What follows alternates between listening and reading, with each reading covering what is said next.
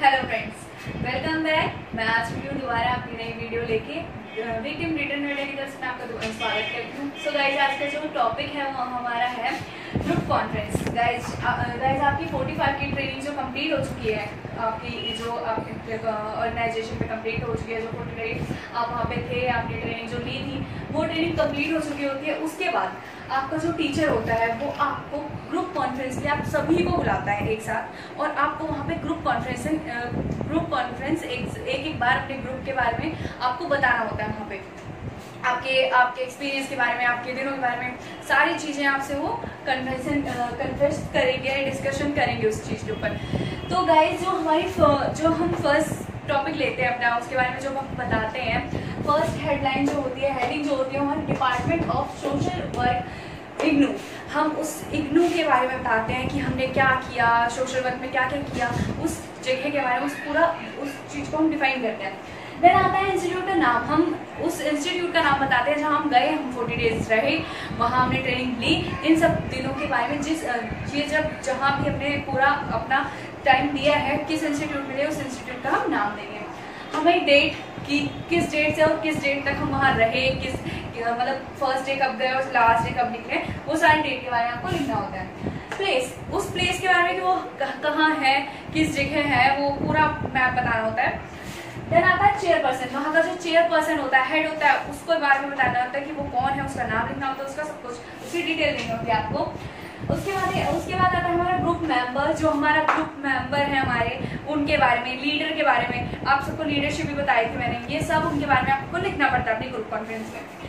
Gas फिर आता है resource of person resource person की जहाँ से आपको रिसोर्स मिल रहा है, उस वो रिसोर्स जहाँ से आप रिसोर्स ले रहे हैं और आप आगे प्रोवाइड करवा रहे हैं, आगे फिर उसका यूज़ कर रहे हैं गाइस देन गाइस मैं आपको बता दूँ, इस कॉन्फ्रेंस में आपको सारी डिटेल्स जब देने के बाद उस कॉन्फ्रेंस में आपको अबाउट एजेंसी के बारे में बताना पड़ता है गाइस कि जो एजेंसी है, वो किस तरीके से आपकी मिशन में हेल्प करती है, किस तरीके से आप, आपका सब कुछ मिशन जो होता है, वो आपका एक कंप्लीट हो जाता है ऑब्जेक्टिव मिशन सारी चीज़ों के बारे में. गाइस आता है role as a social worker guys वहाँ आपको उस जगह, उस चीज़ में, उस कॉन्फ्रेंस ग्रुप में फ़ाइल में आपको लिखना भी पड़ेगा और बताना भी पड़ेगा कि गाइस आपको, आप सोशल वर्कर बन के आपने कैसा रोल निभाया? क्या चीज़ें आपने बताई हैं उनको? आपने क्या क्या? किया वहाँ आप सोशल वर्कर बन के क्या करने गए? क्या आपने एक्सपीरियंस किया? तो गाइस सबसे पहला आप, हम कभी कभी बताते हैं कि हमने वुमेन एम्पावरमेंट पे किया, या हम स्लम एरियाज़ में गए, बच्चों को देखा, हम बहुत सारी जगह घूम के आए एक्सपीरियंस किया, उनके उनके दुख दर्द को देखा, हमने उनसे बात की, उनसे सारी चीज़ें शेयर की। उसके बाद गाइस हम होता, फिर हम बता दें गाइस कि जो ये सब हुआ, वो formation of S S H G ठीक है? गाइस इसका, मैंने बताया था आपको कि जो हमारे टीचर होता है ट्रेनिंग टीचर उसके साथ। और बहुत सारी चीज़ें गाइस आपको बतानी पड़ती है इस सेशन में कि हाँ आपने रोल रोल जो निभाया है सोशल वर्कर का, वो आपको कैसा है उसका एक्सपीरियंस आपने कैसा लिया।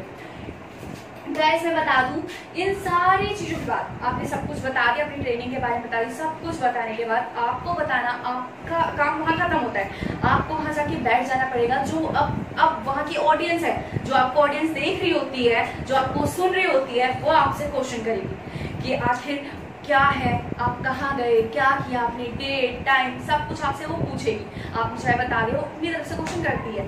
पहला, उसका हमेशा पहला क्वेश्चन होता है कि जो एनजीओ है, उसका एम क्या है? और वो क्या है? वो एनजीओ किस बेसिस पे है? वो क्या, किस चीज़ का एनजीओ चल रहा है वहाँ पे?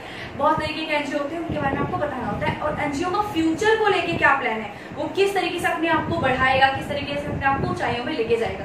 गाइस इतनी सारी चीज़ें होने के बाद आपकी एक कॉन्फिडेंस ग्रुप जो होता है, इन फ़ाइल जो उसकी बनाते हैं, आप उसमें सब लिखना पड़ता है गाइस इनको याद रखिएगा, दिमाग में अपने रखिएगा।